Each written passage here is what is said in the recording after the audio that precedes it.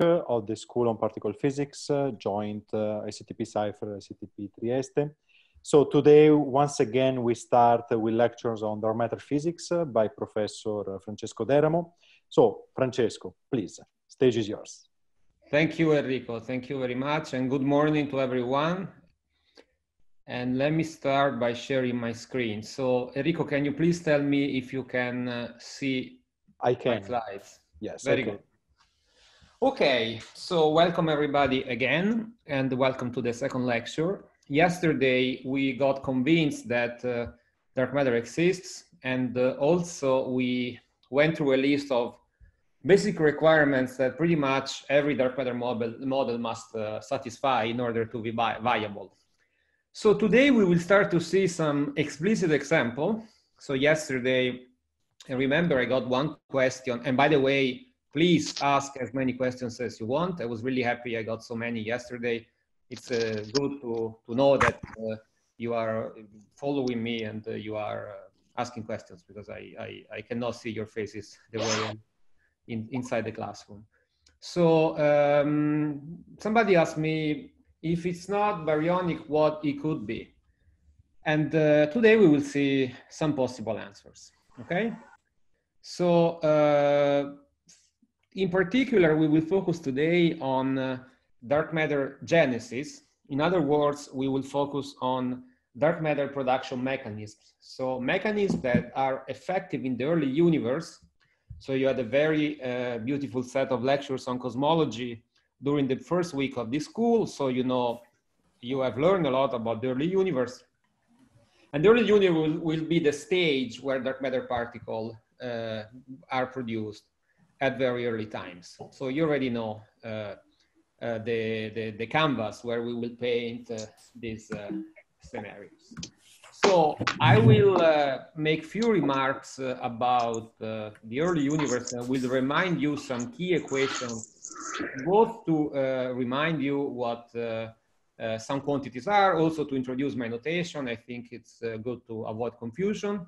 So here there is a a picture that I even showed yesterday from the particle data group. And this is the, the, the, understanding we have about the history of the universe, the conventional picture that we have. So we have, uh, uh, we believe that everything started with the Big Bang. Then we had a phase where the universe was very hot and dense. It was dominated by a radiation bath. And then uh, we had nucleosynthesis where heavy nuclei forms. Then we had recombination when the universe became uh, neutral. And then we had galaxies formations until we end up to the present time. So the question I want to address during this lecture, so this lecture will be entirely devoted to uh, dark matter production mechanism. And in particular, I want to address the question about what mechanisms mechanism could be responsible for dark matter production in the early universe. Tomorrow, we will revisit some of the results that I shared today by using a tool known as the Boltzmann equation, where we can do things in a more quantitative way.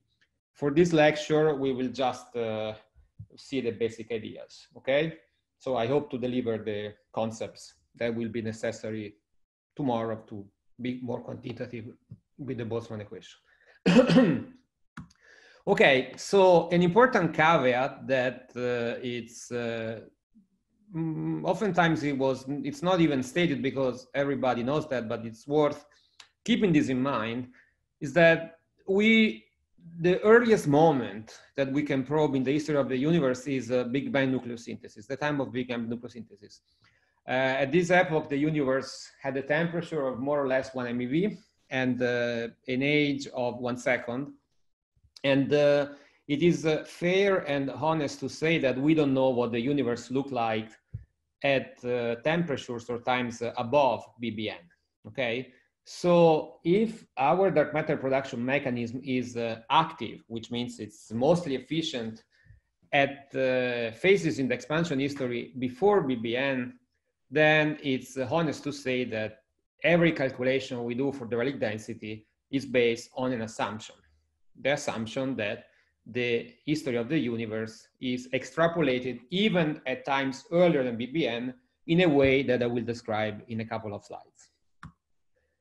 And uh, we also know, as we discussed yesterday, that dark matter must be around at the time of CMB formation.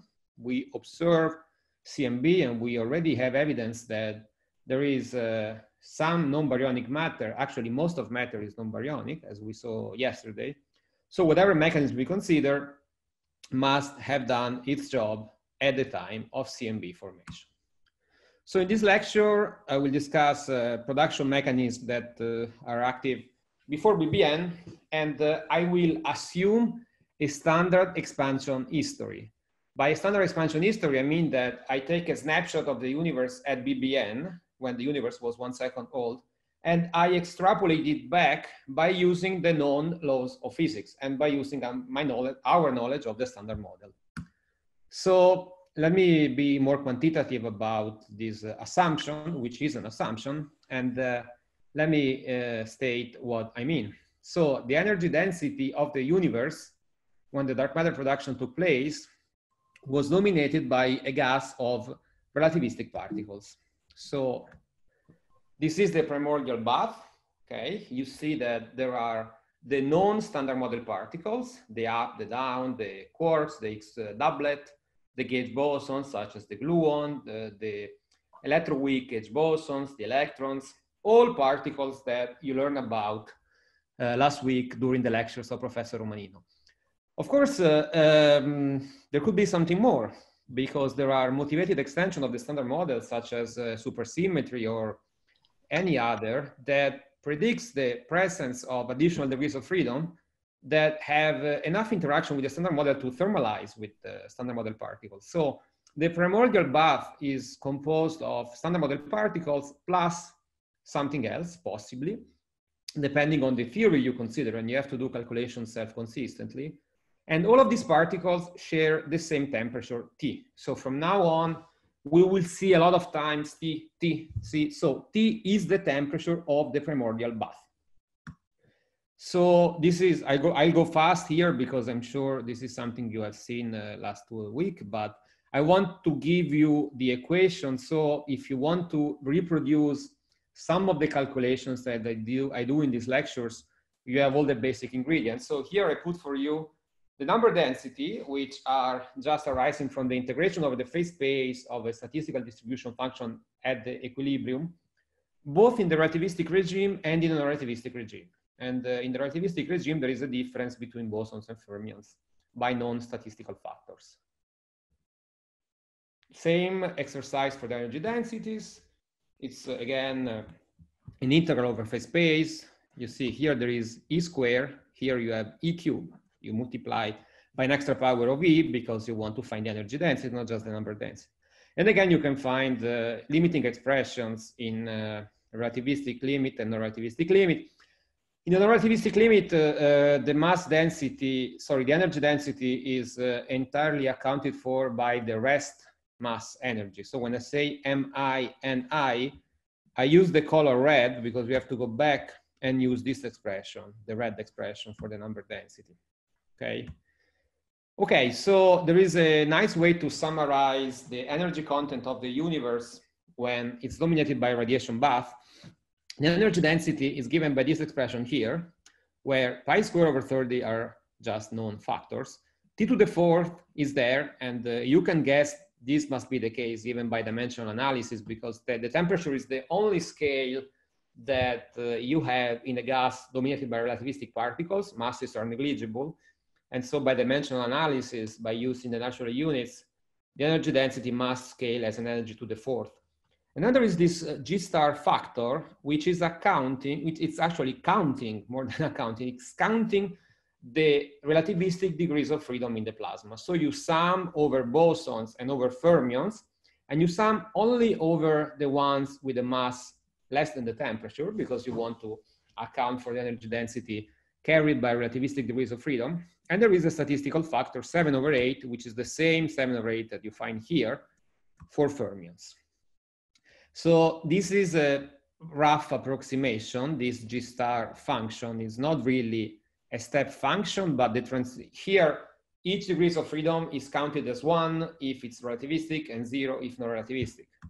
but actually there is a, a, smoother transition between the different regimes. This is a plot I made where there is this uh, phase here where a QCD phase transition happens. So I just drew a straight line because the, this is something you cannot compute in a weakly coupled regime. There are, there are results, but I, I don't want to, to focus on them now. I just want to show you that the function is actually a smooth function. It's not a step function. And uh, at very high temperature, if you account for all the standard model degrees of freedom, there is a famous number, which is 106.75. And this is the number or relativistic degrees of freedom if you account for the entire standard model.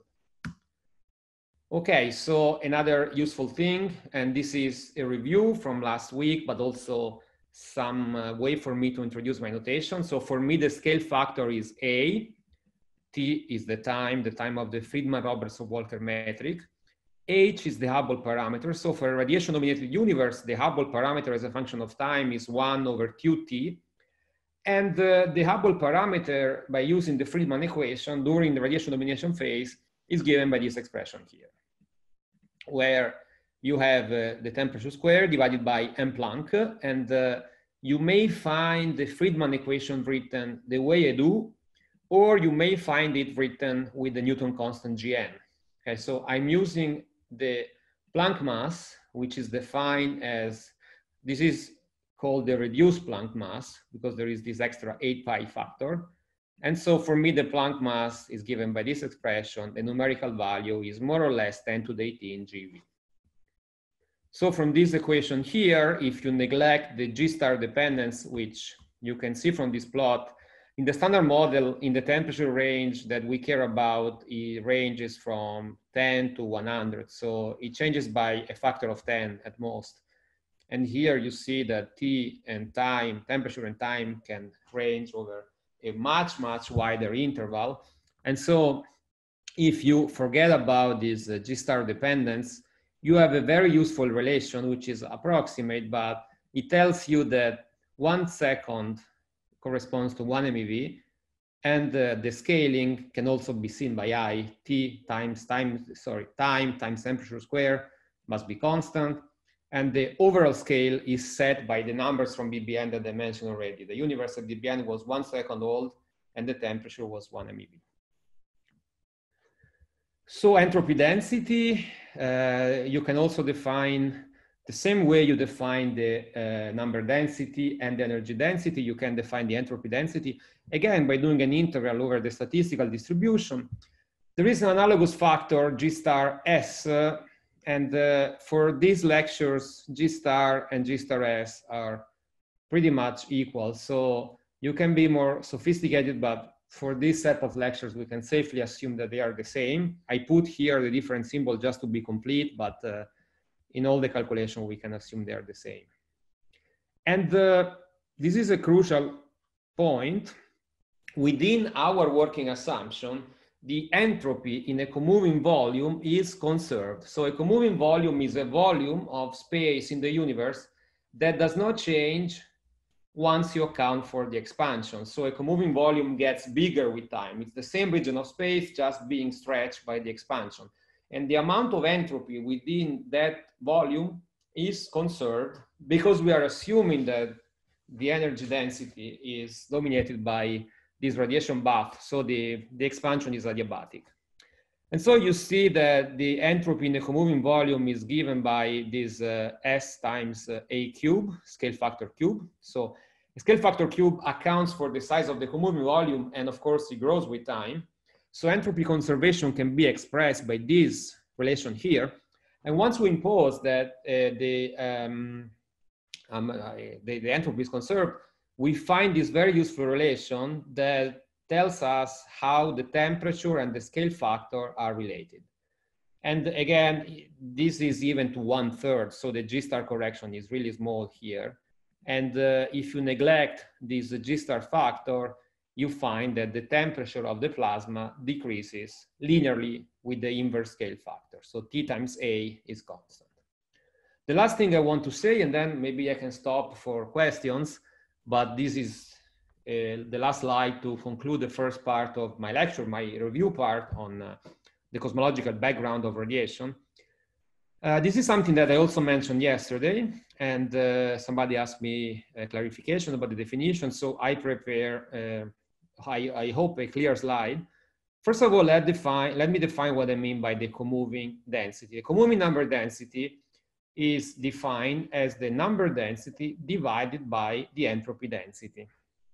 And uh, the reason why this is a useful variable is that if you do not have uh, um, processes that change the number of particles, as for example, dark matter annihilations, where you have two dark matter particles in initial state and zero in the final state, the, the number density of dark matter particle will change because the universe is getting bigger, okay? But it changes in a way that n times a cube is constant. And uh, for this reason, you have that in the absence of number changing processes, ni over s is the same as ni a cube divided by s a cube. I've done nothing here. I just multiplied above and below by a cube. So the numerator is constant, the denominator is constant, so the ratio must be constant. So this variable is very useful as we will see today, and in particular tomorrow when we solve the Boltzmann equation. This is very useful because it's a variable that scales out the effect of the, of the Hubble expansion. So if you have a dark matter production mechanism that is uh, setting a value for the dark matter density, after this uh, mechanism stops being effective, the variable y does not change with time. n will change, but y will not. And then I also gave you here uh, the, this is something you can check because in the previous slides, I gave you all the equations to, to check this uh, two limiting expression for relativistic and for non-relativistic uh, particle. Okay, so Enrico, I ask you if there are questions because this is a good point to. Yes, Francesco. So we have a few questions. Let me read okay. them to you.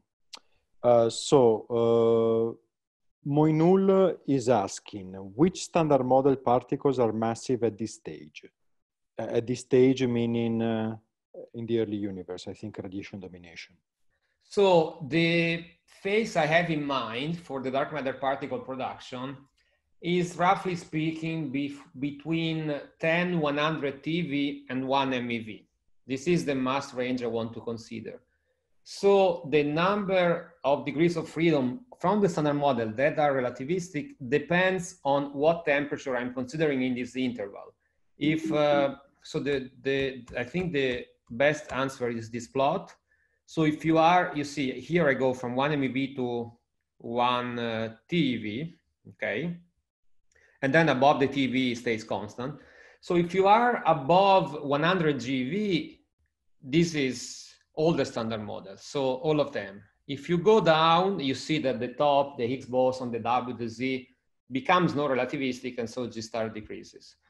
Uh, I will uh, show you calculations in the next part of this lecture where this G star will appear explicitly and it will be a G star evaluated at the given moment, which is the moment of result that I will explain what it means. So the answer is it depends. It depends on the parameter space you're considering.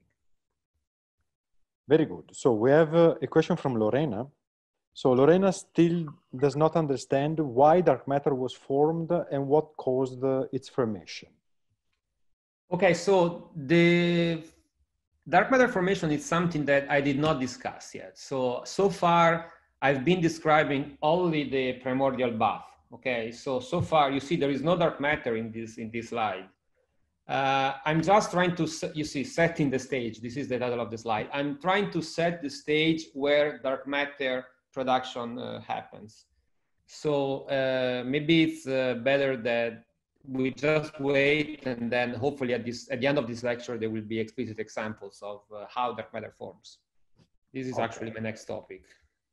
Very good. So lorena if you have uh, okay i think this also answered the next question by ganesh. So if this is not the case ganesh please reiterate. And ah and we have another question always by lorena. So she's asking do black holes have something to do with dark matter creation so uh, primordial black holes could be dark matter candidates.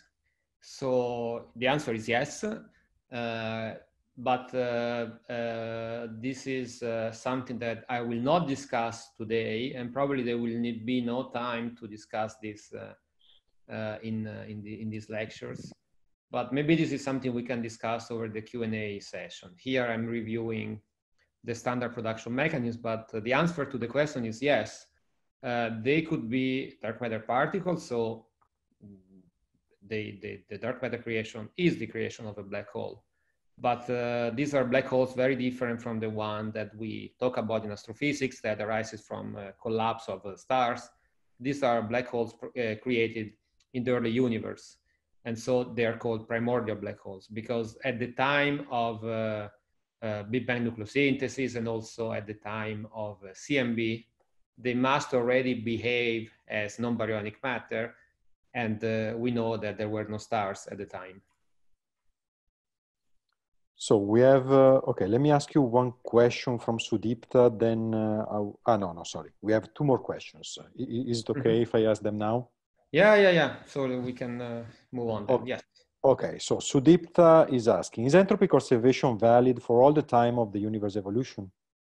So the answer is no. Uh, and uh, in particular, in the phase where we go from inflation to the radiation bath, there is a process known as reheating, which in my opinion, is not a very good name. It should be called heating because it's not something that, it's like recombination. It should be called combination. Anyway, so reheating is uh, when the radiation bath is created from the decay of uh, the inflaton. And in this case, entropy conservation does not hold, and these decays produce lots of entropy.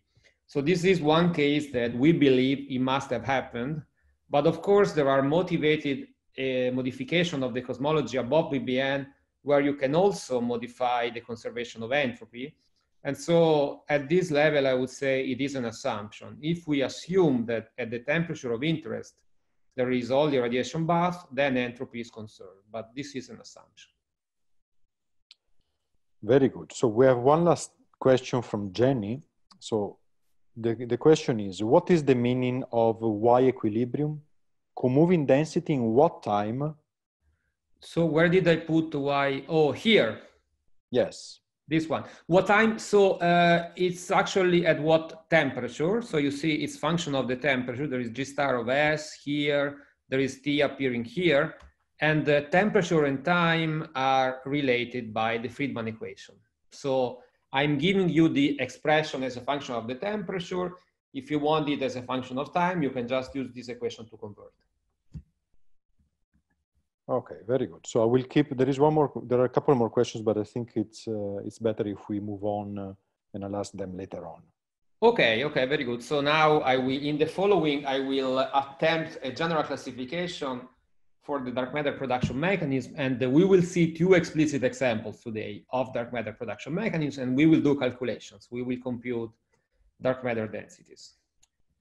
So I've seen many people trying to attempt a general classification and uh, if you try to be general, I believe there are always caveats and exceptions. So my classification is general for the following reason. You will see in a second that it will work. So I call thermal dark matter production, the dark matter produced in the following way. Three conditions must be satisfied. The dark matter production happened when energy budget of the universe was dominated by radiation bath. This is the assumption we've been making so far.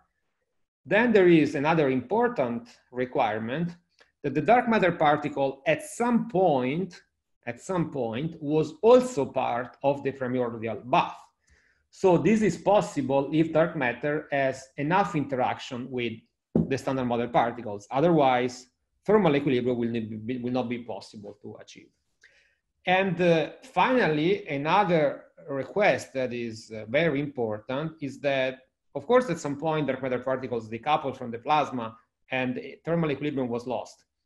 And the process of departure from thermal equilibrium is what set the dark matter abundance back in the past. Okay? So these three conditions must be satisfied. And my classification works because I call non-thermal anything else. So there are no exceptions. Okay? So dark matter thermally produced must satisfy these three requirements. And uh, in these lectures and also in the next one, we will focus on these cases here uh, because there are motivated candidates that are produced in this way and because there are several experiments that have as a target candidates produced in, the, in this way. So I will focus on these uh, kind of uh, uh, particles a lot in the, this lecture and the next ones as well.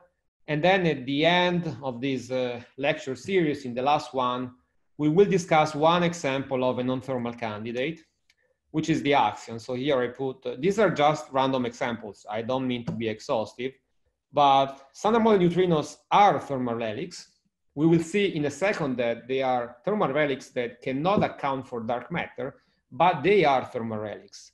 WIMPs, WIMPs will be, will be playing a huge role in this lecture because uh, these are the most popular dark matter candidates. And uh, I believe that when you have a course on introduction to dark matter, you need to know WIMPs really well. So they will be, it will be my goal for the next couple of lectures. Another examples of non-thermal production axions, I will not say much because it's something that we will discuss in the, in the last lecture. One example of us, which is interesting, I think, because it shows you the importance of this condition, okay, the third condition, asymmetric dark matter, namely a dark matter particle uh, whose abundance arises from a primordial asymmetry between particle and antiparticle, exactly as it is the case for baryons okay?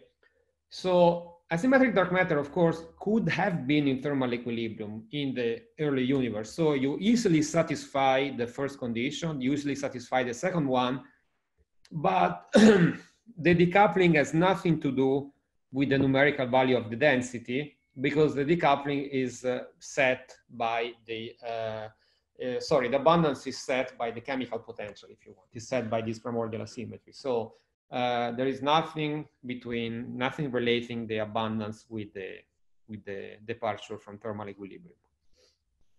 So, um, as I say, these lectures and the next couple of ones, we will focus on thermal candidates.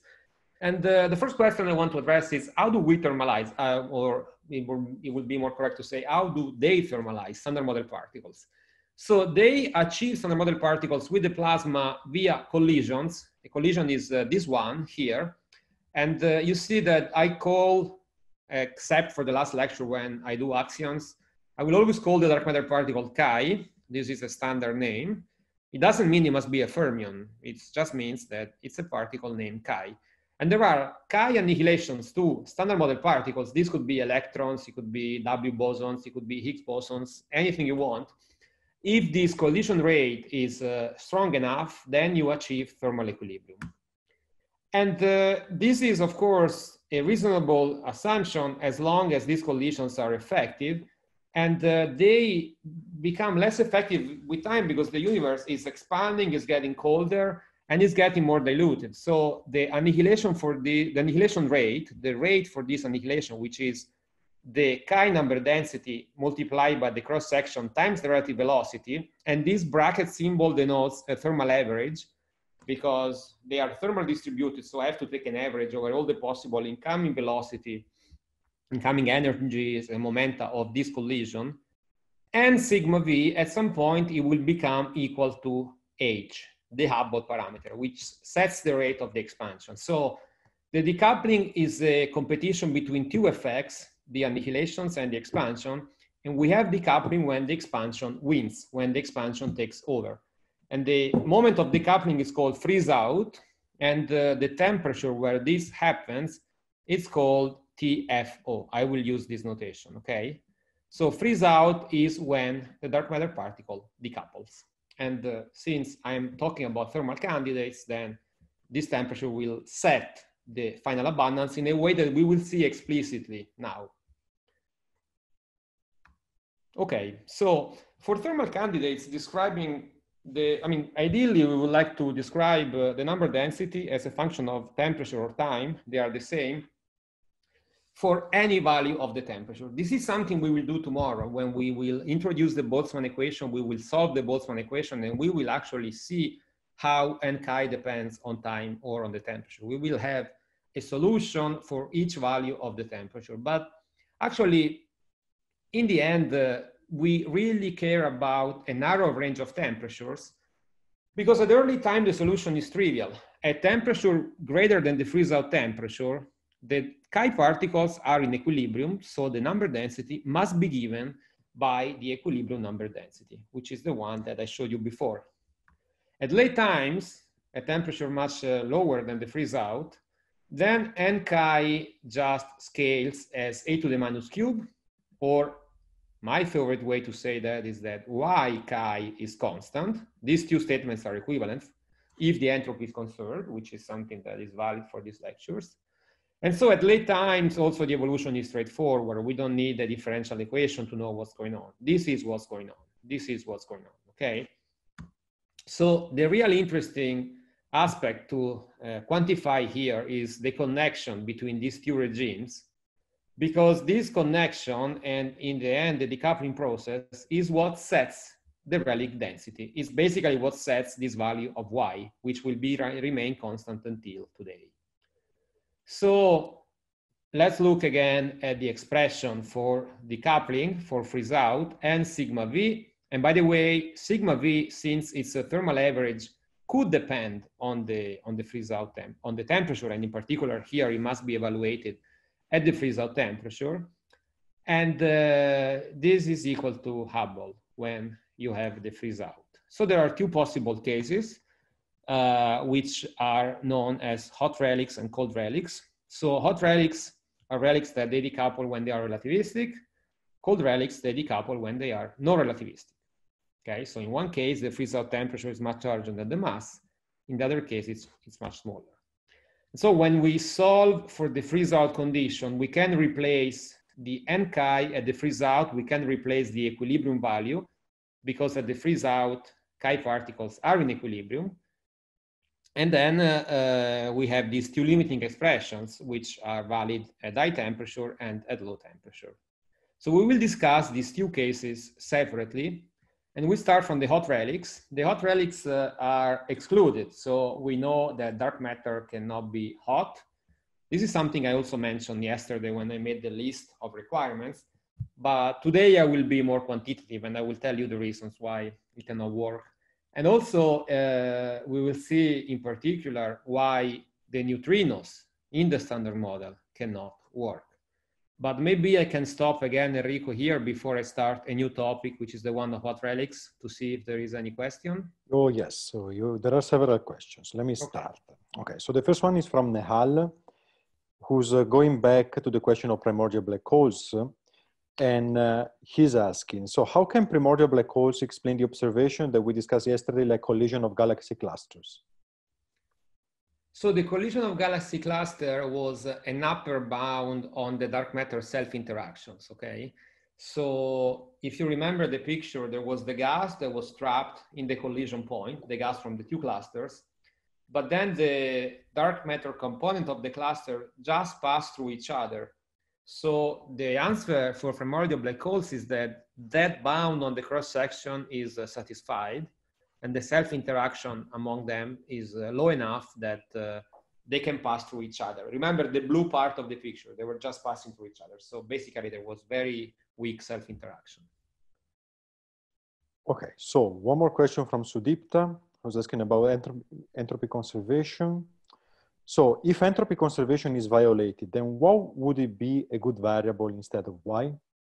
Oh, excellent question. So excellent question. So this is actually something that you need to know if you want to keep track of the dark matter density evolution when the, uh, the there is entropy non-conservation. So the variable I use when I do this calculation, I did several of them. Let me see.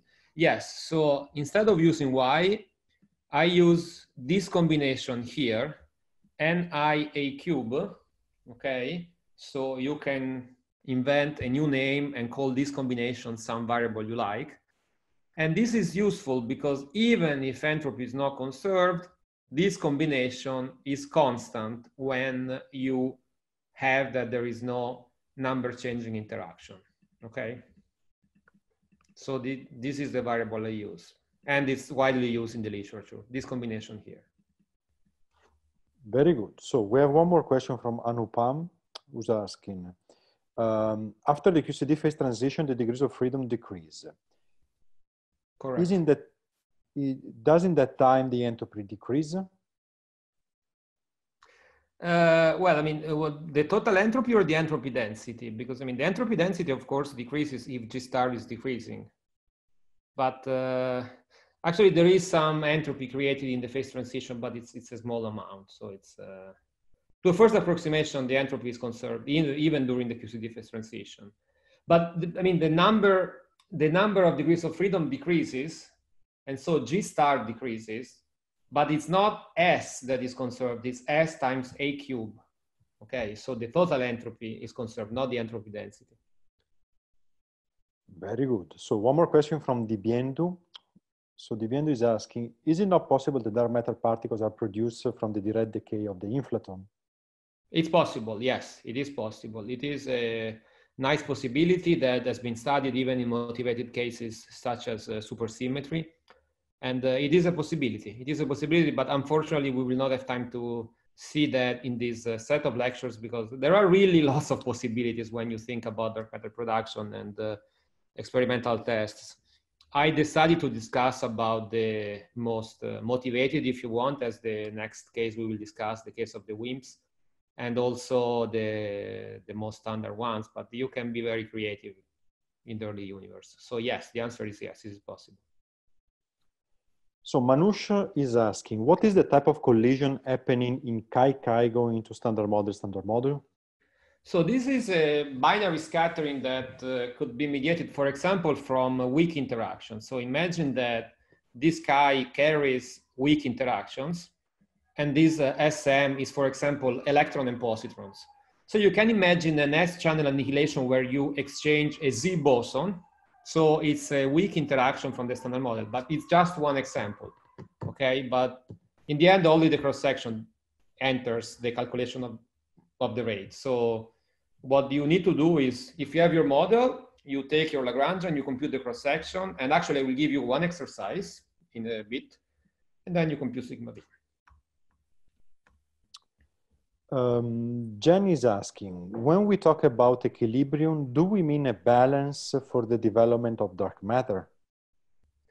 So equilibrium, we mean that uh, this reaction and the opposite happens with the same rate. Okay, so I don't know what uh, uh, we mean here by, what was the question, sorry again? Uh, let me, let me read it again. So when we talk uh, about equilibrium, do we mean a balance for the development of dark matter? I would say a balance between the direct and inverse process. And uh, yes, I mean, this is equilibrium. This is not a concept that is uh, special to this case. When you discuss about uh, uh, processes at equilibrium in statistical mechanics, even in other contexts, it's the same equilibrium that we mean here. So Jenny, if you meant something else, uh, please elaborate. Yeah, and then we can uh, reiterate yes. the question. So uh, we have two more questions. Uh, do you prefer good. to answer? Okay. Let's ask. Let's answer. No, it's good. Okay. It's good. And then uh, we'll see how it goes. Let's, let's the question. So the first one is from Vinicius, uh, who's asking, can dark matter thermalize with the process dark matter, dark matter going into standard model plus X where X is an, an out of particle, in, sorry, an out of equilibrium particle, or dark matter needs to annihilate in particles that are themselves in thermal equilibrium to thermalize? Ah, excellent question, excellent question. So uh, I think uh, that uh, if uh, dark matter thermalizes through this process, it's hard to believe, it's hard to understand why X would not thermalize because the fact that dark matter thermalizes through this process means that these reactions are efficient. And if they are efficient, so X should also thermalize. So uh, I believe that if this uh, reaction has a rate enough to thermalize dark matter, then eventually you will also thermalize X. Okay. Uh, so Sudip, Sudipta is asking, instead of entropy, can we use photon density because that can also take care of the effect of the expansion. Very good. Yes, it's, it's this is an excellent uh, question as well, and uh, we could use photon density. but uh, there is a, a G star. So the photon density is a number times T cube. The entropy density, there is, G, there is a G star factor in front, okay? So in the end, uh, what entropy density is expressing is this equality here. And uh, if you assume that G star is constant, then photon and entropy density are equivalent. There is only an overall constant in the ratio. But the ratio between photon density and uh, uh, entropy density in general is a function of the temperature through this tiny dependence via G star. So if you want to be very precise, you have to use the entropy density because S A cube is constant, but N gamma A cube is not constant. There are G star corrections. So up to G star correction, you can do that. But if you want to be precise, you have to use the entropy density.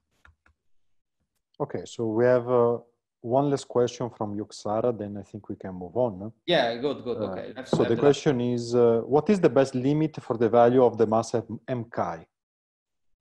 Okay, so this is something we will discuss actually in a couple of slides for hot relics and for cold relics tomorrow. So I will answer soon. Soon for hot relics and for cold relics tomorrow. Very good. Okay, Francesco, I think we can move on. Very good. Great, great. I'm really happy we have so many questions. So this is fun for everybody. okay, so now, uh, what's it? Oh, we have still 45 minutes. Right, uh, Enrico? Yes, yes. Very good. So I think I will do 15 minutes on hot relics and 30 minutes on uh, cold relics. Great. Actually, the, the uh, hot relic calculation is uh, very simple because uh, the first thing to compute, this is true for cold and hot relics, but the first thing to compute when you have uh, hot relics uh, is uh, the freeze out temperature. And the freeze out temperature is obtained by a comparison between the annihilation rate and the Hubble rate. Okay, so I'm, this is an equation that I've wrote many times. I'm just using the relativistic expression for n chi. You can go back and you have the slides, you can go back. I gave you all the equations to, to do the derivations. So you solve and you find the freeze out temperature and you see that the freeze out temperature is a function of uh, the annihilation cross-section, the Planck mass, G star. So if you want, this is a, a, an implicit expression for TFO because there is TFO here as well, but uh, G star is a weak dependence on TFO and you even have the square root.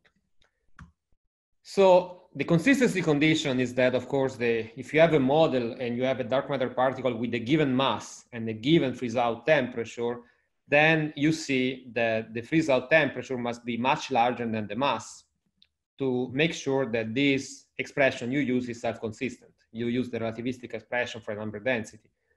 So you see that we have hot relics if the mass is small and or the cross section is small because you want this number to be large. So if sigma v is small, then TFO is large and it will be larger than the mass. So hot relics are light particles with small mass and with uh, small annihilation cross section. So we will see in a second that neutrinos are uh, hot relics. So after interaction stop being effective, which means that temperatures below the freeze out, then the comoving number density is constant and it will be constant until today. So T0 is the temperature of the universe today. It's the present time. So you can find uh, this equation that I invite you to check, to check the prefactor. And you see that the resulting comoving density, so this is evaluated at the freeze out, but it's also evaluated today, of course, because there is no change, is given by this expression. And there is a very tiny dependence on the freeze out temperature through this G star factor. So you see that the comoving abundance you get, it's a number that you basically know. Uh, there is this uh, prefactor in terms of the effective degrees of freedom of the dark matter particle. But in the end, uh, the dependence on the freeze-out temperature is very weak. And then you can convert, of course, the comoving number density into a mass density today. So the rho of a hot relic is given by this expression here, where you multiply by the mass, and then you multiply the comoving number density at the freeze out, which is the same as the one today, you multiply it by the entropy density today because you want n. You want n today.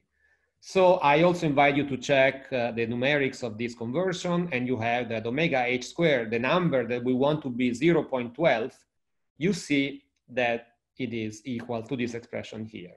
So there is a, an interesting bound on the mass. So this is a, a, first possible answer to the question I just got.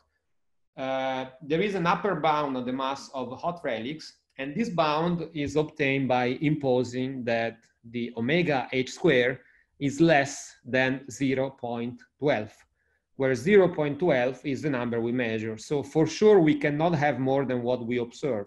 Okay, neutrinos are a subdominant component, so it's fine if, if omega h squared is less than 0.12. If it's more, we have a problem because we predict more than what we actually see. So historically, this bound is known as the Cowsik-McClelland bound for hot relics. And now let's discuss an important effect of uh, hot relics, which is the effect of free streaming. So these particles uh, decouple when they are relativistic. So what happens is that after decoupling, they are free. They do not interact with anything anymore. And they can free stream from overdense region to underdense region. And this uh, will erase density perturbations. We saw yesterday that there are primordial density fluctuations that collapse under gravity. And we believe they were created by inflation, okay? But uh, this is an effect that is dangerous because it erases the perturbation and in the end we cannot form structures anymore. So this uh, effect of free streaming is efficient until matter radiation equality because uh, remember this is an equation I gave you yesterday from the first lecture. The density perturbation grow not too fast, just with the log of the scale factor during radiation domination. When you have matter domination, they grow as the scale factor itself. So you see that until matter radiation equality, this free streaming effect can compete with the gravitational collapse. Afterwards, it's uh, not efficient anymore. This is a rough estimate. You can do things more precisely, but for the purpose of a lecture, this is a nice way to illustrate the issue. So you can uh, compute, and I invite you to do this calculation, and I put in the problem one of this uh, second problem set a guided calculation. So I guide you through the intermediate steps. And uh, you can show that you can compute the free streaming scale as a function of the matter radiation equality temperature and the time and the temperature when this particle becomes non-relativistic, the particle X. Uh, sorry, X here uh, is, uh, is, uh, is, uh, is chi, it's the same. And uh, you can also uh, check the mass scale that you're going to wash by this effect. So this is a result which is the last point of problem one that you can derive. And you see that if the particle is lighter than one keV, you wash out structures above the mass of the galactic halo. The mass of the galactic halo is 10 to 11, 10 to 12 solar masses. But we know that galactic halo exists because of the galaxy galactic rotation curve that we discussed yesterday.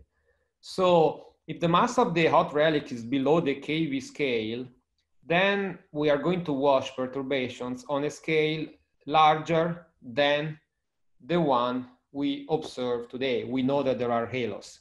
So this is excluded by structure formation. And so hot relics cannot have mass less than one keV.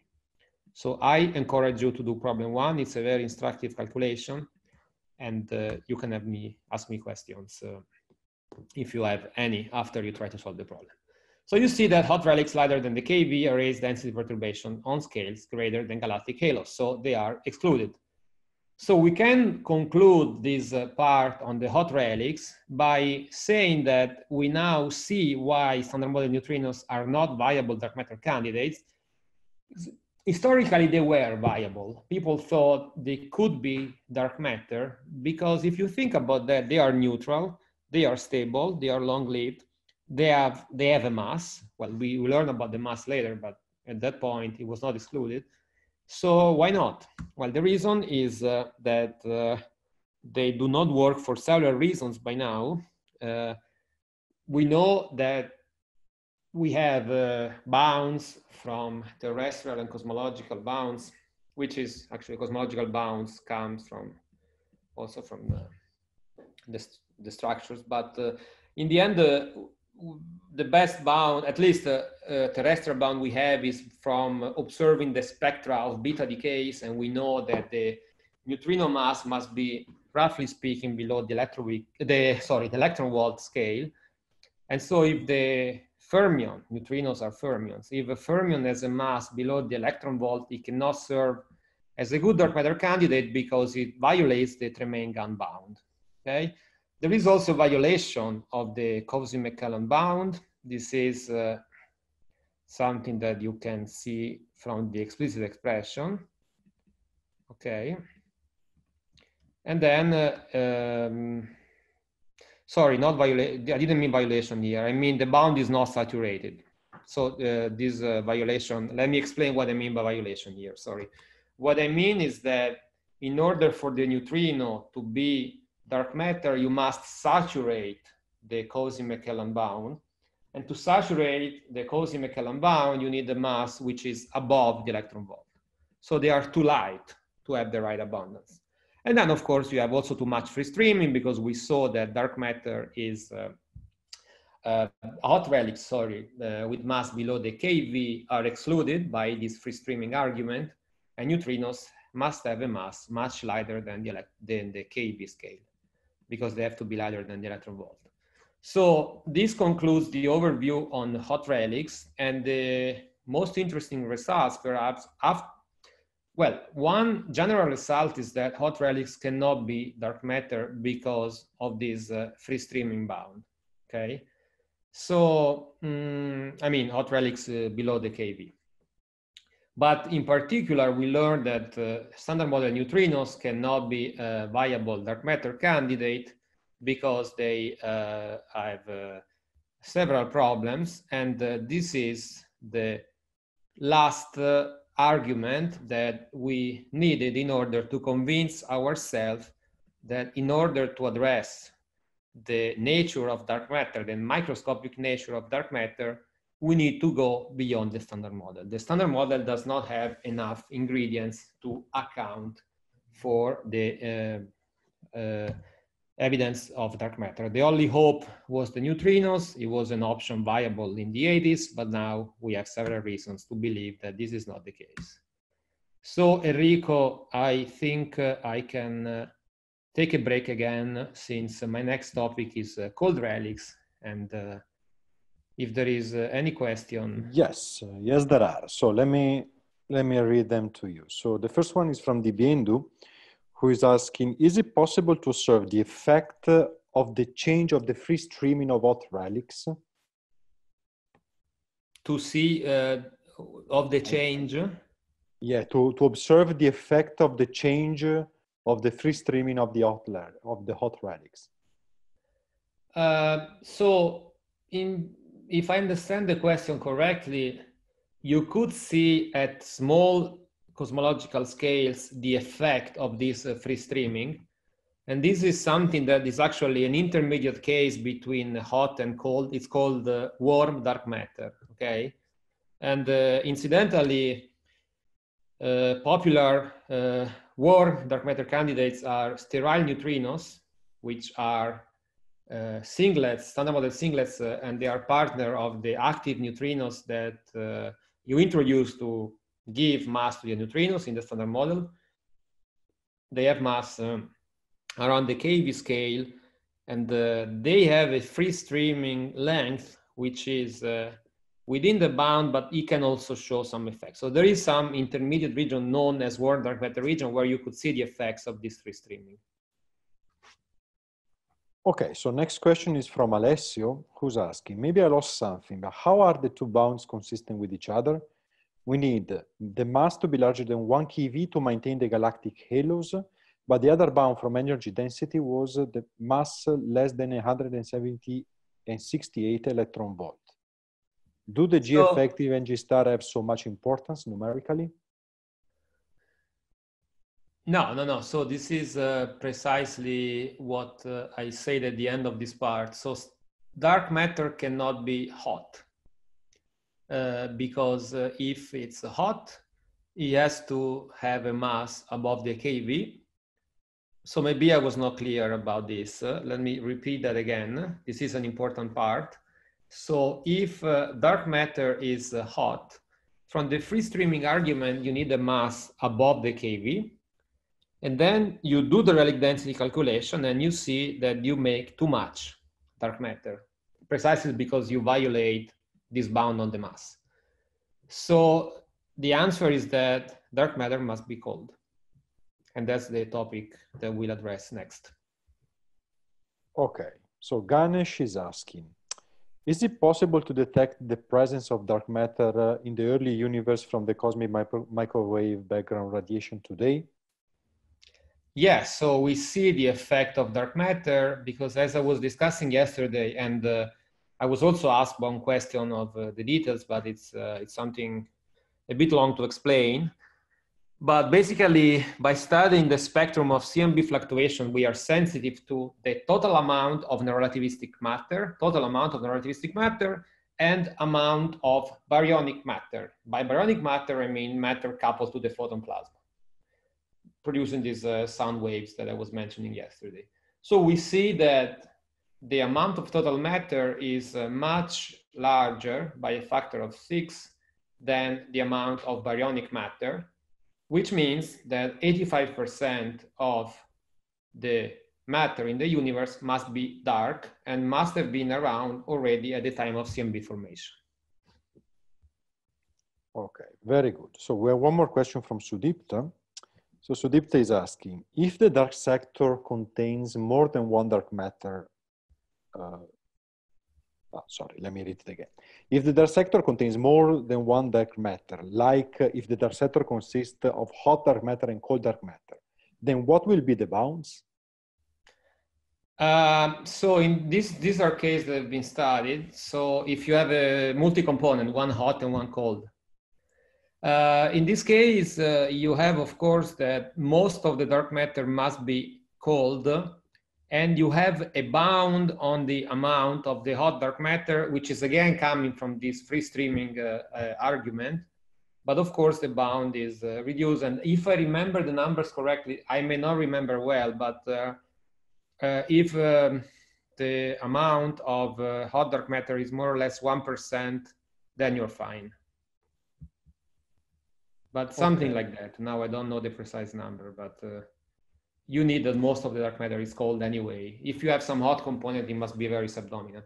And by the way, this is the case of uh, the standard model because neutrinos are a subdominant. So actually in our universe, we have that most of the dark matter is cold. There is a hot component, which is the component by neutrinos. So we already know that this case is realized in nature, but we do the calculation with the bounded neutrino mass and we find that this is a very subdominant component. So we are fine. Okay, Tessio is uh is asking, the erasing of density perturbations depends on how the dark matter interacts with other particles?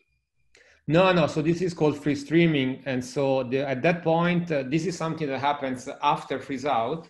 So free stream here really, really means free stream. They just propagate along geodesics and uh, they do not interact with anything.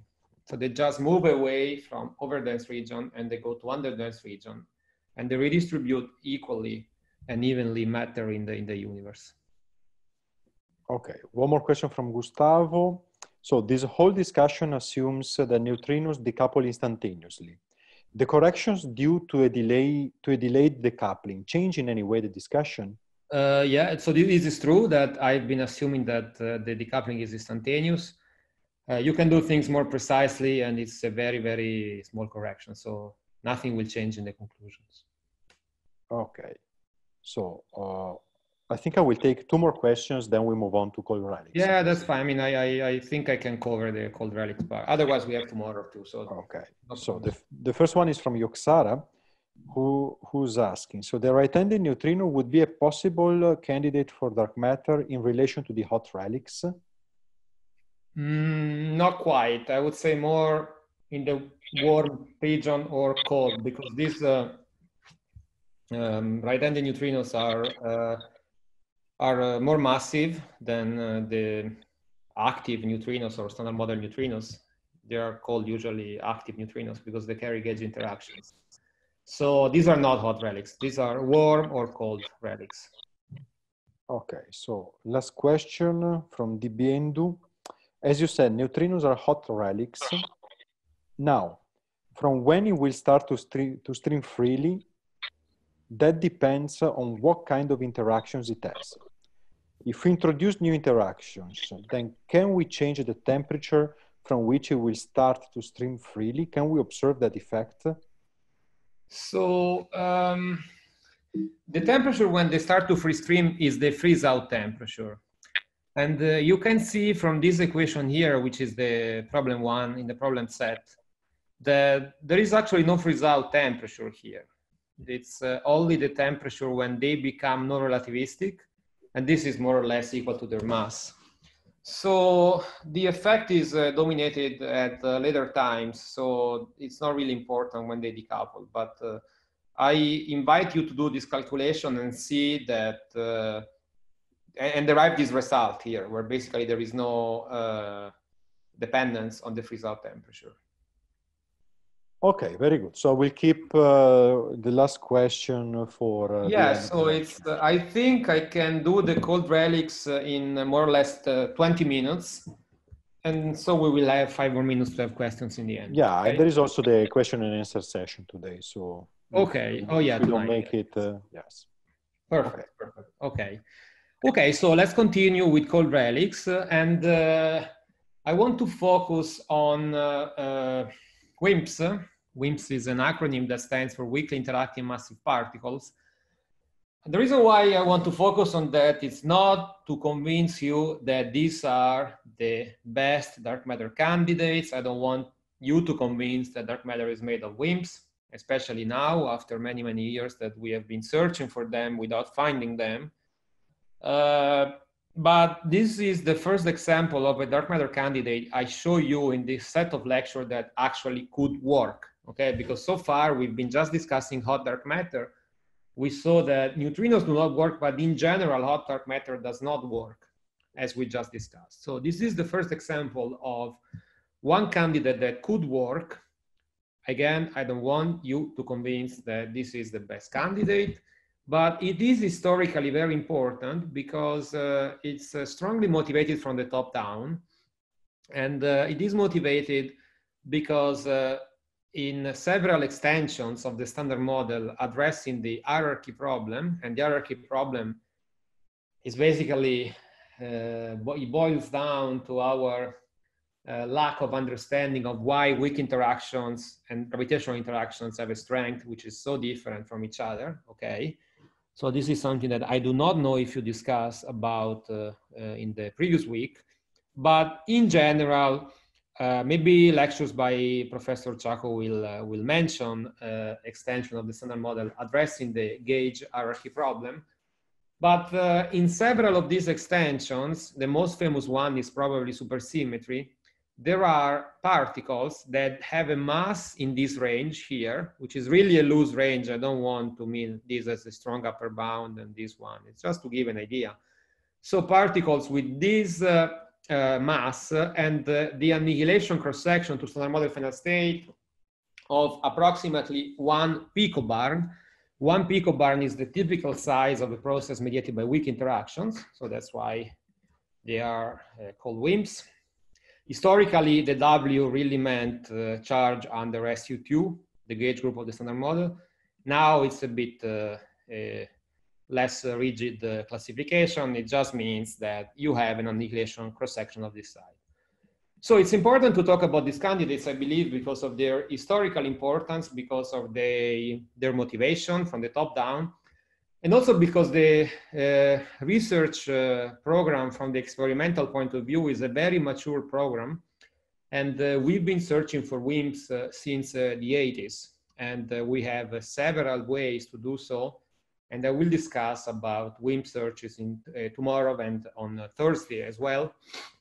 And so since this is an introductory course, I want to give you uh, an idea about uh, what uh, the basic strategies to search for these candidates are. And then the ideas that you use to search for these candidates, you can also recycle in uh, for other candidates. Um, so let's begin by the definition of a cold relic. So they decouple when they are non-relativistic. So remember that in the ray there is this sigma V expansion. So you can do a partial wave expansion. And in the second problem that I posted for this lecture, I give you two explicit examples where in one case the cross-section is S wave, in the other case is a P wave. So this is S, P, D, all the partial waves. And uh, I gave you the Lagrangian to do the cross-section calculation. I also gave you the answer for the coefficients A and B in the two cases. So you can check that actually there are cases where you can uh, find a constant term in the non-relativistic expansion or your expansion may not have a constant term and start with a v square dependence, okay? So let's do the freeze-out calculation again. And this freeze-out calculation is quite standard and it's uh, basically identical to the previous one. The only thing that changes is that now for the equilibrium number density, I put the non-relativistic expression, okay? So there is a, a, more standard way to write down this equation by introducing this variable x. xfo is defined as mchi divided tfo. So by consistency with the uh, assumption that the relic is cold, then this xfo must be a number bigger than one because we want tfo to be less than the mass of chi. So what you can do uh, is you plug uh, numbers for the masses and for the cross sections. This G is uh, just a number of order one, and you can solve this equation numerically or through iterations if you want, but you see you cannot find an analytical equation because you have uh, the XFO appearing in the exponential and also in the power here. So you need um, you need to do a numerical calculation, but uh, I invite you to check again this number. That if you put for the WIMP mass uh, the typical mass that I gave you before, and also for the cross section the pico barn, and be careful when you do the pico barn, you have to convert one picobarn in GeV to the minus two, because uh, uh, we are using a natural unit system where cross sections have units of energy to the minus two. So you see that you have plus one, plus one, minus two. This combination is dimensionless, and then everything is dimensionless here. The left-hand side is of course dimensionless. So this equation makes sense, at least from the unit's point of view. So if you put the numbers, you see that XFO must be between 20 and 25. So this is a good consistency check because as I mentioned, we wanted XFO to be bigger than one to be consistent with the fact that freeze out of uh, cold relics happens when these relics are not relativistic. So let me give you a picture of uh, the production of cold relics with this figure here and describe to you what happens. Then uh, there is not much we have left to do for today. I, give, I will give you this description, then I will give you an equation for the mass density. And then tomorrow we will introduce the Boltzmann equation, which is uh, a much, uh, uh, I would say, detailed way to keep track of the number density. Okay, so let's start slowly. Uh, WIMP genesis takes place when the universe is dominated by radiation bath. Okay, so this is something I said already at the beginning of this lecture. But uh, remember, this is an assumption. Okay, this is an assumption. So here I put in this box one comoving volume. Now we know what the comoving volume is. Comoving volume is a volume that stays constant as the universe expands. Okay, so imagine that this volume gets bigger proportionally to the Hubble expansion. So let's start from describing this uh, thermal bath. So this thermal bath, it is definitely filled by standard model particles, okay? Here again, I put uh, the known example of standard model particles given uh, give uh, if you if you take a given standard model extension you are likely to fill the primordial bath with something else.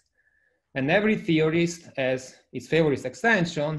You can imagine that the primordial bath is filled by these beautiful creatures that i love very much.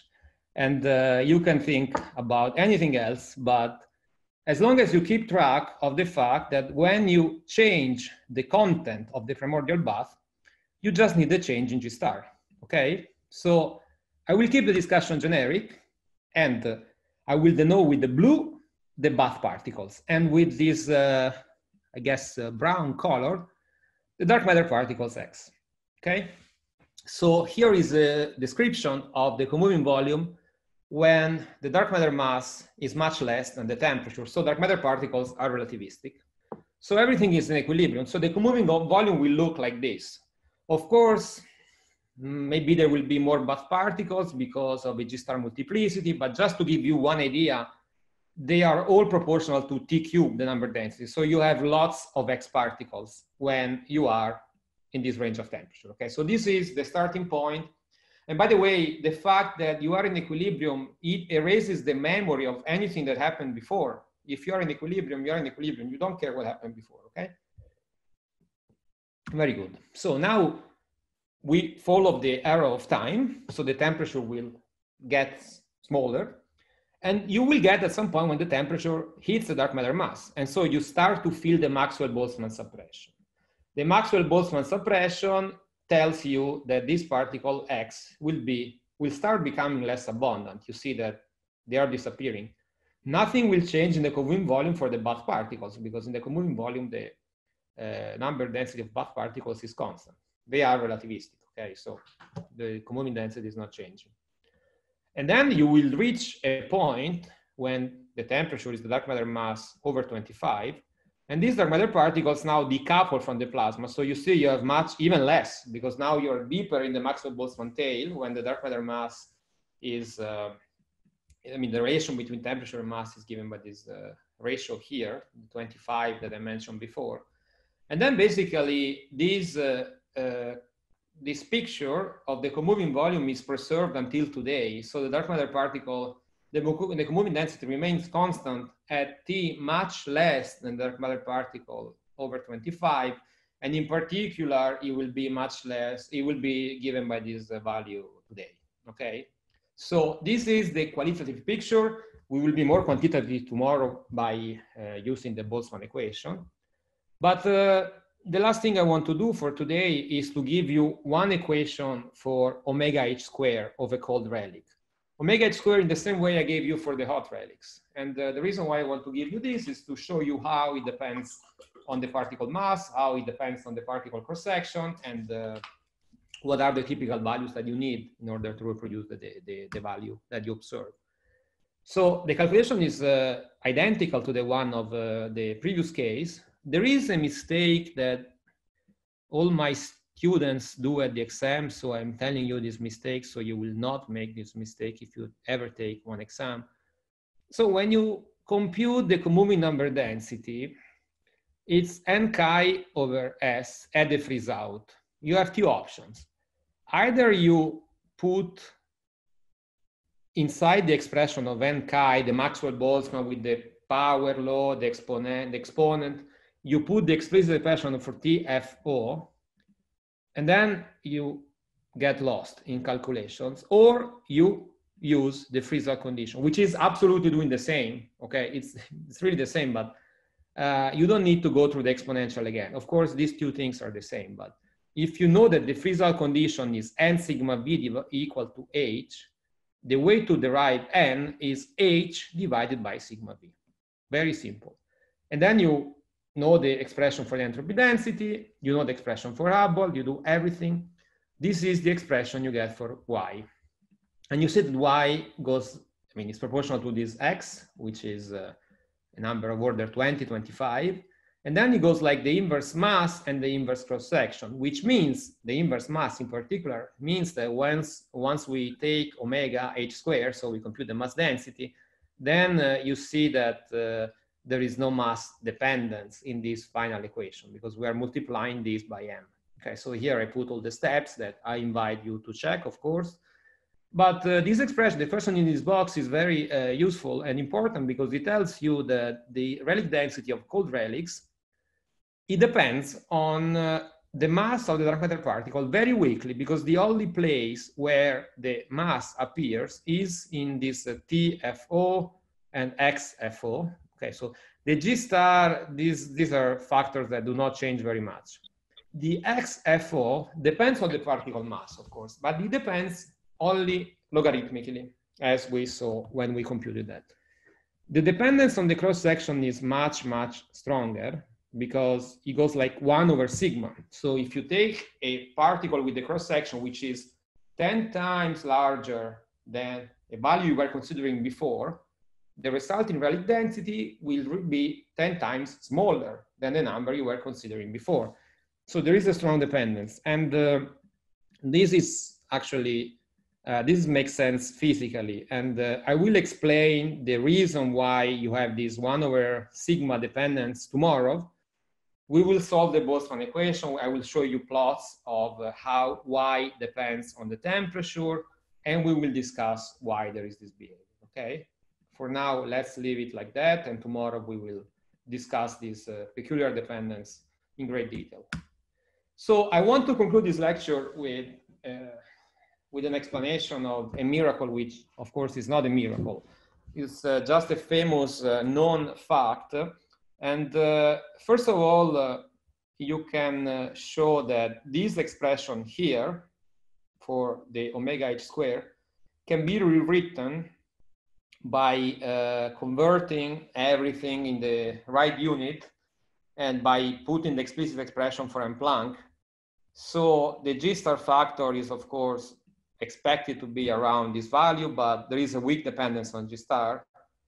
So you see that basically the uh, annihilation cross-section that you need to reproduce the relic density is the picobarn. So this is something that I anticipated, but now from this expression, it's uh, manifest that one picobarn is what you need.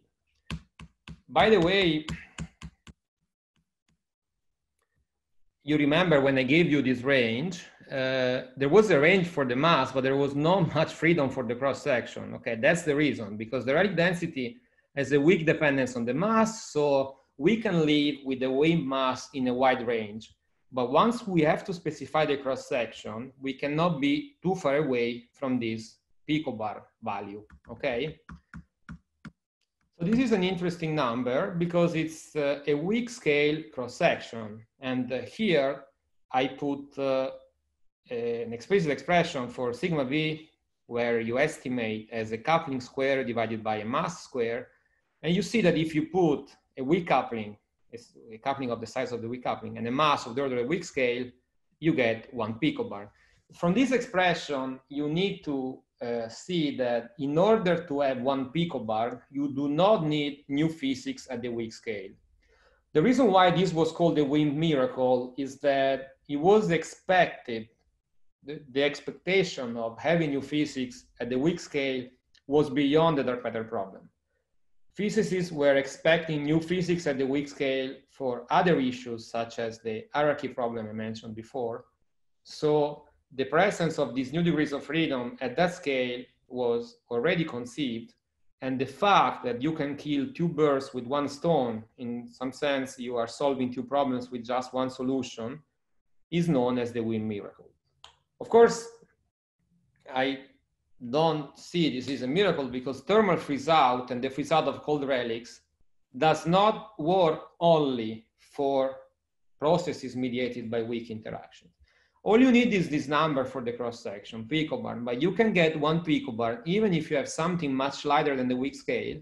You just have to take a smaller coupling and make sure that the ratio alpha over m stays constant. So you can get the thermal freeze out of cold relics with the right abundance, even without anything new at the weak scale. And for example, you can get all the way, you can go all the way down to GeV or even slightly above the MeV. All you need is a small coupling alpha. So I conclude by saying that this is not a miracle. Of course, uh, I, I, didn't even need to say that, but just to be clear. And uh, I also invite you to derive this uh, equation, this uh, form of uh, the omega h square number, this is something that you can do by starting from uh, this expression here. So this is the most general one, okay? But then uh, you can show that this is actually the case up to order one factors, okay? Uh, this doesn't mean to be rigorous. This is the temperature of matter radiation equality, okay? More or less one eV, okay? So the WIMP miracle is just a remarkable numerical coincidence. And uh, it tells you that if you take if you plug this uh, value for the cross section here, and you take a coupling which is more or less of the weak scale size, then the weak scale, this 200 GeV, is equal to the geometric mean of the Planck mass and the equilibrium temperature. Two numbers very different from each other. This is 10 to the 18 GeV. This is 1 eV, but the geometric mean gives you the weak scale. So Enrico, I will stop here and tomorrow we will rederive these results with the Boltzmann equation. So we will do a much more careful analysis. And then we will start to discuss experiments because so far we've been only living in the early universe, but uh, we also want to discover these particles today. So I will take questions now. Okay, very good. So there are uh, quite a few questions. So let me go, let me put some order. Okay, so the first question is from Jenny. So the question is, are hot relics related to the latest times in the universe? Uh, not necessarily, because, uh, for example, neutrinos uh, decouple when the temperature is 1 MeV. This is something you should have seen in the first week. So the density of this relic was set when the universe was uh, one second old. Remember, 1 MeV is one second. So one second, I would not call it the latest times. Actually, quite uh, the universe was quite, quite was quite young.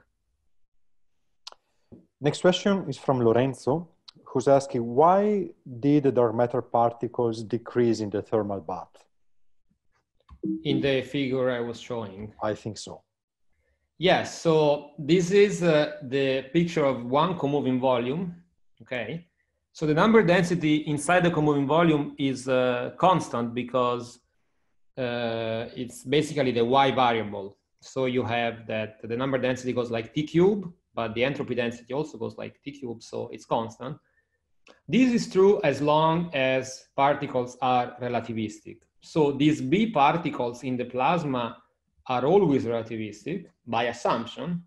We take the universe dominated by a hot gas of radiation of course, one of these could be the top quark and then it goes non-relativistic, but the majority are relativistic. So I started to decrease them. You see, when the temperature became of the order of the dark matter mass, then they were even less when the temperature for dark matter mass were 25. So what's going on here is just the Maxwell-Boltzmann suppression. We are considering temperatures below the mass, and so you pay a price which is the Maxwell-Boltzmann suppression. That's the, the only reason why they were decreasing. Okay, so next question is from Sudipta. So the question is, is there any lower bound for WIMP masses? And if yes, uh, where does it come from? So I will discuss bounds on the mass tomorrow, but I can anticipate that uh, a lower bound uh, is uh, 1 MeV. And uh, the reason is uh, that if you have some relic that is in equilibrium with mass below 1 MeV, then it will be in equilibrium as a relativistic degrees of freedom at the time of Big Bang nucleosynthesis. And then you would see, it would play the role of an additional neutrinos. Okay, so you would mess up the predictions of light elements. So to stay safe, a thermal relic must be heavier than 1 MeV. And it comes from BBN. Very good. So next question is from Ankit. The question is, if the dark matter abundance remains constant after the freeze out, wouldn't the dark matter annihilation today change its abundance? Sorry, uh, annihilation today? Yeah. So there are annihilations that happen out of equilibrium, so after freeze out, but these are really, really rare events and they will not impact the overall abundance. So it is, uh, so tomorrow we will be actually more careful and we will solve the Boltzmann equation because today the freeze out was like an instantaneous process until sometime they were in equilibrium and then suddenly they decouple completely. Tomorrow we will solve this equation that we will show uh, that this is actually an event that takes some time uh, interval, but uh, it's quite sharp as an event. So the annihilation happening after freeze out are extremely rare and will not change the abundance. Okay, so next question is from Anupam. So the question is, are we putting by hand the thermally average cross-section for WIMPs to be one picobarn? So by hand, uh, let's see. Uh, I mean, if you want to, you can take the opposite view and say, I do the relic density calculation for a generic thermal relic, and I find this equation. So I learned that if I want to reproduce the abundance, I need a cross-section of one picobarn, okay? So this equation is valid all the time, but if you want to reproduce the abundance, then it must be one picobarn. Now, as I said, there are several standard model extensions where this number, one picobarn, comes naturally because these are uh, new degrees of freedom at the electroweak scale. And so you're not really putting that by hand. This is, the, in some sense, the WIMP miracle. You expect these particles to be around for other reasons.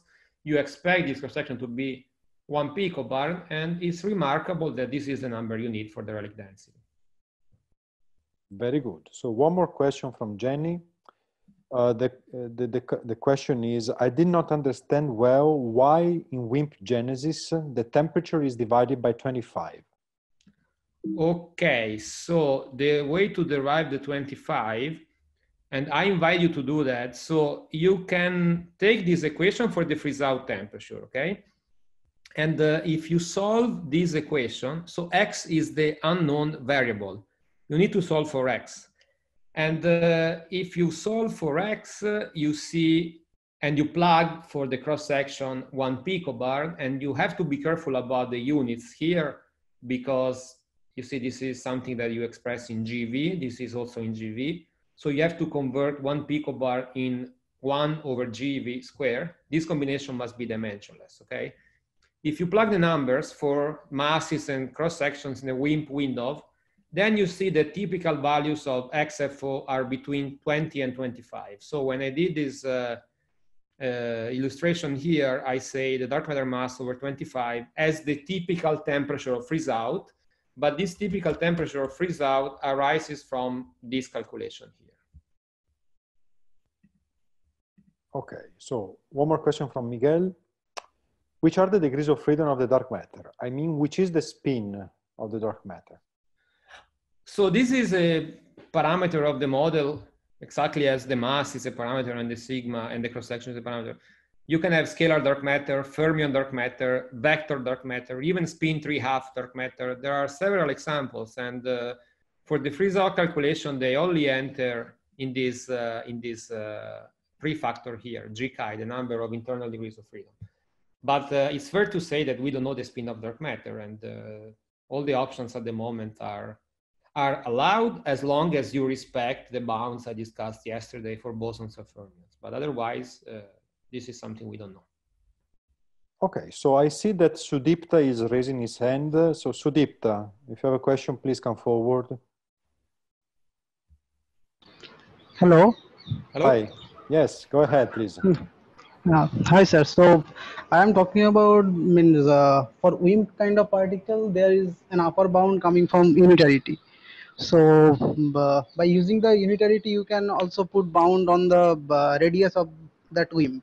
So this model independent bound of uh, on the radius of the WIMP is around uh, 7.5 into 10 to the power minus 7 Fermi meter, uh, femtometer, sorry. So is the WIMP particle is uh, fundamental particle or we can have some structure by looking at this bound on the radius of the kind so the, the unitarity bound is uh, something that I will discuss tomorrow. Okay, so uh, I, I, will discuss this bound. I said I, I, I said that uh, I will uh, discuss uh, upper and lower bounds on the mass uh, tomorrow when we do a more careful analysis. But let me just say that an argument for unitarity allows us to put an upper bound on the dark matter mass, which is around 100 TeV, and uh, there is really no problem with having a fundamental particle with that mass. It could be a fundamental particle. There is no reason why the, the, the, it has to be composite. Okay. Okay, thank you. Okay, you're welcome. Okay, very good. So there are uh, a couple more questions, but since we are already yeah, you already decide. Uh, I think it's better if we keep the additional questions for the Q and A so that we can That's have fine. a smooth okay. transition. Okay, very good. So I think uh, this is a good moment to take 15 minutes uh, of break uh, before uh, Masha's lecture. So, Francesco, thank you very much for the very nice lecture, and You're welcome. we'll see you this afternoon, uh, Brazilian time, uh, for the Q and A session. Okay. See you later. Okay. Thank you. See you later. Thank you very much. Bye bye.